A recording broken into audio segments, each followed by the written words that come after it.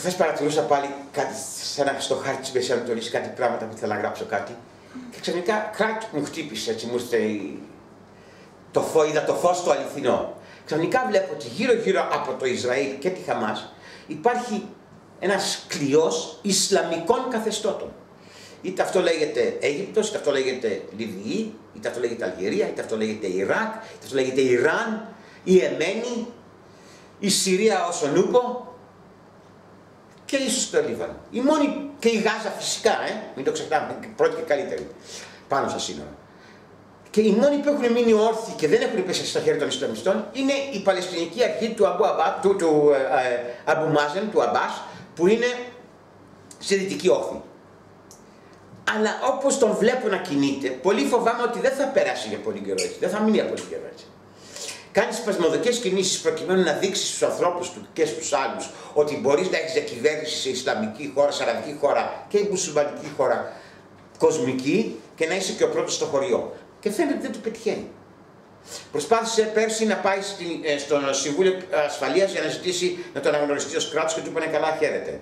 Τώρα στο Σεπτέμβριο σε δύο μήνες θα ξαναπάει αυτή τη φορά στη Γενική Συνέλευση που μπορεί να το πετύχει. Εγώ πιστεύω ότι μάλλον θα το πετύχει, αλλά δεν έχει και τίποτα αυτό. Ένα συμβολικό είναι. Και λοιπόν τι έγινε; Το είχαμε ξαναδεί αυτό και το 88 όταν οι ίδιοι ανακήρυξαν το Παλαιστινιακό κράτος. Και δεν έγινε τίποτα επί Αραφάτ.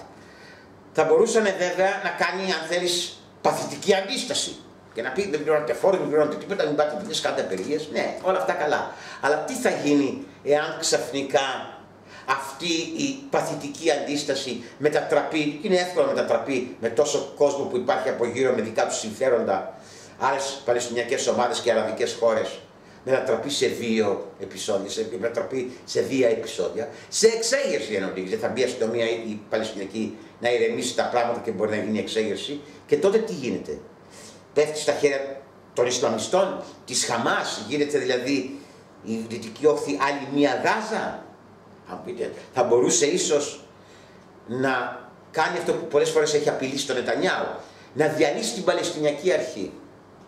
Εντάξει, αλλά το να διαλύσει την Παλαιστινιακή Αρχή είναι σαν να κόβεις το κλαδί πάνω στο οποίο κάθεσαι.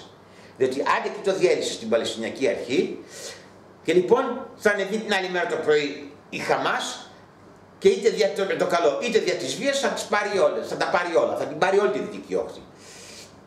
Άλλωστε μην ξεχνάμε ότι αυτή τη στιγμή αυτή η κυβέρνηση δεν είναι και νόμιμη ακόμα, έτσι, γιατί έπρεπε να γίνει προ δύο ετών περίπου έπρεπε να είχαν γίνει, ίσως και παραπάνω αν δεν με απατάει η και μνήμη μου, έπρεπε να είχαν γίνει οι εκλογές. Οπότε το ερώτημα είναι τι του μένει πια να κάνει; Εγώ θα έλεγα ότι αυτό που του μένει να κάνει είναι ίσως μια λύση να ξεκινούσε διαπραγματεύσεις με το Ισραήλ αλλά διαπραγματεύσεις με, χωρίς όρους που βάζει. Διαπραγματεύσεις είναι αυτές. Όλα παίζονται. Τι θα πει, εγώ θέλω τα σύνορά μου από το 67. Εγώ θέλω να σταματήσεις αυτό, ε, ε, να, να χτίσεις στα κατεχόμενα. Εγώ θέλω να κάνεις εκείνο. Ε, τότε ρε φίλε, να σου στείλουμε με φάξ απλώς την απόδειξη ότι σου δώσαμε, σου παράδοσαμε τη δυτική όθη και τελείωσε. Δεν το κατάλαβα αυτό. Λέγανε οι παλιοί έτσι τι μένεις, δεν φτάνει που τα χάσεις όλα, θες τώρα να μας πεις, να μας υποβάλεις και όλους τους νικητές. Ε, και λίγη λογική δεν βλάπτει που και που. Αλλά εκτός από αυτό, λέω το εξής: Αυτή είναι η στιγμή εχθέ.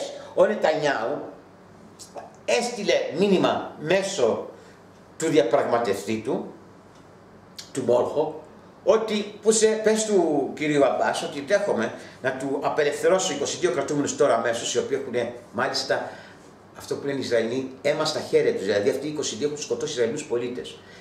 Και να τους αφήσω να φύγουν, θα μου πείτε, έχουν κάνει περισσότερο 25 με 30 χρόνια φυλακή, δεν έχει σημασία. Παρ' όλα θα του αφήνει να φύγουν και μέχρι το τέλος του χρόνου άλλους 100. Θα μου πεις, είναι 4.000 εκεί σε Μάρνε; Δεν είναι αυτό. Είναι η καλή θέληση. Είναι αυτό που λένε οι διπλωμάτες να χτίσεις μέτρα εμπιστοσύνης. Να κάνεις μέτρα εμπιστοσύνης ώστε σιγά σιγά να εμπιστευτεί ο ένας τον άλλο.